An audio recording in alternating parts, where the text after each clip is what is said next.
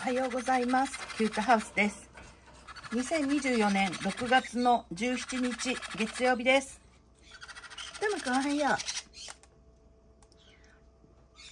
生徒ちゃんおはよう。えー、時間は朝8時半ぐらいかなと思います。はい、えー、っと、ひなちゃんのご紹介ね。はい、1番のお姉ちゃんですね。パム。で、2番くんです。で、3番のふうくん。は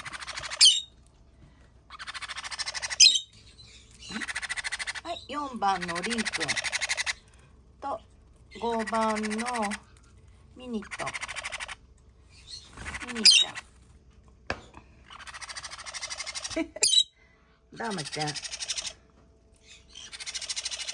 はい、おはよう。はい、おばあちゃんのセトちゃん。